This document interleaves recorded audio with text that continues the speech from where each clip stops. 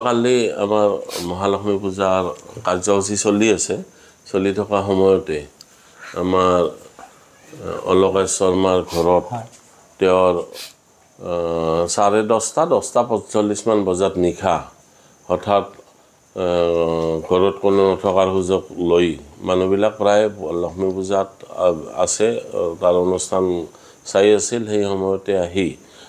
ঘৰত বাথৰুমৰ ভেণ্টিলেটৰেৰে সোমাই আহি কোনো অচিনাক্ত চোৰে তেওঁৰ গডৰেজৰ তলা ভাঙি তেওঁৰ ঘৈণীয়েকৰ সোণৰ হাৰ বালা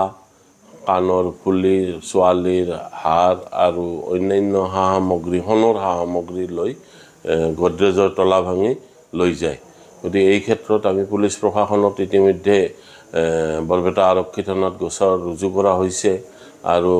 আমাৰ বৰপেটা আৰক্ষী প্ৰশাসনেও অতি তীব্ৰতাৰে ইয়াৰে বিৰুদ্ধে এটা